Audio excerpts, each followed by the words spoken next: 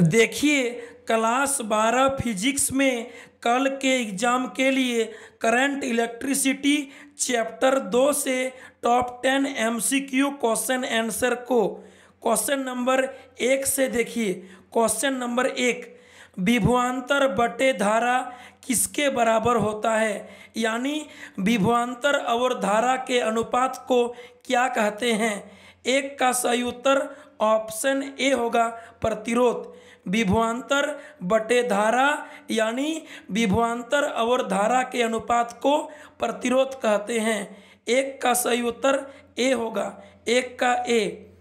आगे देखिए question number दो। विभवांतर गुना धारा किसके बराबर होता है? विभवांतर इंटू धारा किसके बराबर होता है? दो का सही उत्तर बी होगा, शक्ति। विभवांतर इंटू धारा शक्ति के बराबर होता है। दो का सही उत्तर बी होगा, शक्ति यानी पावर आगे देखिए क्वेश्चन नंबर तीन। ओम के नियम में स्थिर रहने वाली राशि है। ओम के नियम में नियत कांस्टेंट स्थिर रहने वाली राशि होती है प्रतिरोध। तीन का सही उत्तर ए होगा। तीन का सही उत्तर ए प्रतिरोध। आगे देखिए क्वेश्चन नंबर चार।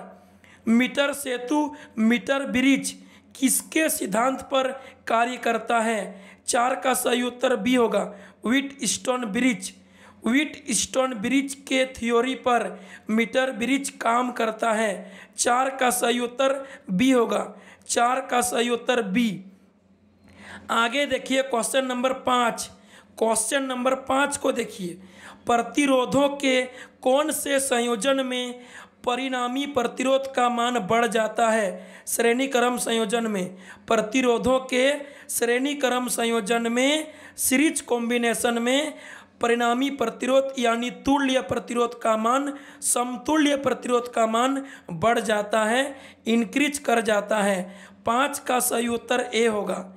आगे देखिए क्वेश्चन नंबर छः बंद परिपथ में इलेक्ट्रॉन की गति की दिशा होती है, विद्युत धारा के विपरीत।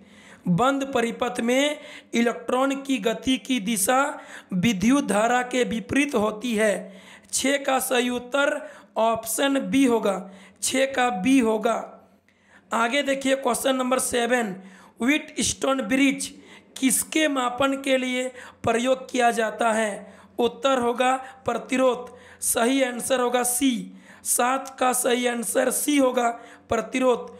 विट स्टोन ब्रिज प्रतिरोध के मापन के लिए प्रयोग किया जाता है। सात का सही उत्तर ऑप्शन सी होगा प्रतिरोध।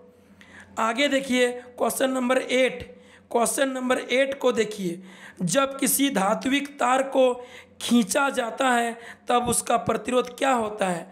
जब किसी धात्विक तार को खींचते हैं तो उसकी लंबाई बढ़ जाती है, जिससे उसका प्रतिरोध बढ़ जाता है। क्योंकि प्रतिरोध लंबाई का समानुपाती होता है। आठ का सही उत्तर ए होगा।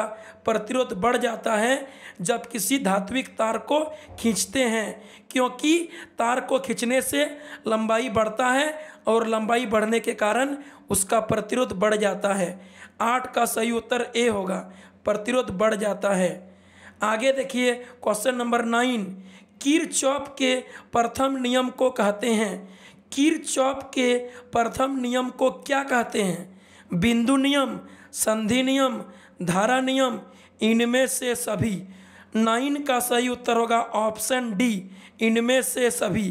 कीर चौप के प्रथम नियम को बिंदु नियम या संधि नियम या धारा नियम तीनों कहते हैं। नाइन का सही उत्तर ऑप्शन डी होगा। नाइन का डी। आगे देखिए अंतिम प्रश्न, question ten. Question number ten को देखिए। कीर चौप के दूसरे नियम को कहते हैं। कीर चौप के दूसरे नियम को लूप नियम, विभव नियम, बंद परिपथ का नियम, तीनों कहते हैं। दस का सही उत्तर ऑप्शन डी होगा। कीर चौप के दूसरे नियम को, यहाँ पर लुप नियम, विभव नियम, बंद परिपथ का नियम, तीनों कहते हैं। दस का सही उत्तर ऑप्शन डी होगा। तो चलिए फिर मिलेंगे अगले वीडियो में। तब तक के लिए बाय बाय। Thank you.